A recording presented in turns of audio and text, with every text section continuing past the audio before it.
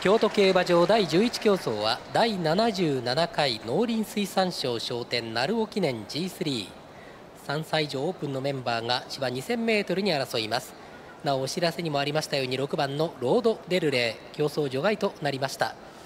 このため返還表があります。レース確定後返還表があります。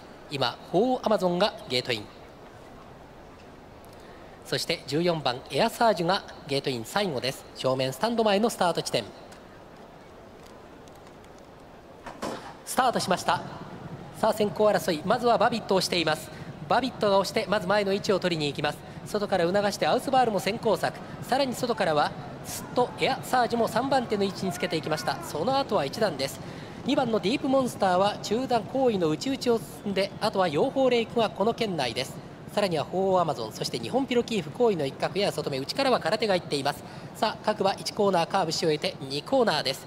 さあ先手を奪ったのは3番バビットリードは1馬身半です。2番手には11番のアウスバールがつけて2コーナー。内から半分差2番のディープモンスターは3番手。その後4番手やや外目14番エアサージが続いて向こう上面へと入っています。そしてその後方からは養蜂レイクは追走しています。さらに外から日本ピロキーフが追走。そしてこの両馬の間鳳アマゾンです。そして内差がなく1番の空手行為の一角。その直後に4番のボッケリーニが追走です。さらに後方からは5番の山人三波が続いています。3馬身ほど馬群が開きました。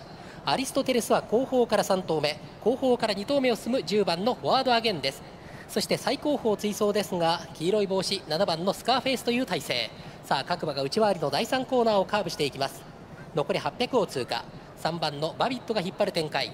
そして2番手の位置ですが外目をついた11番のアウスバールが追走しています。そしてその後内2番のディープモンスターです。さらには14番のエアサーズ日本ピロキーフ。そして宇宙ゼッケン9番の養蜂レイク。最内からはゼッケン1番をつけました。空手が追走しています。さらに後方からは4番のボッケリーニが追走しています。そしてホーマゾンさあ各馬が34コーナーの中間地点へとかかってまいります。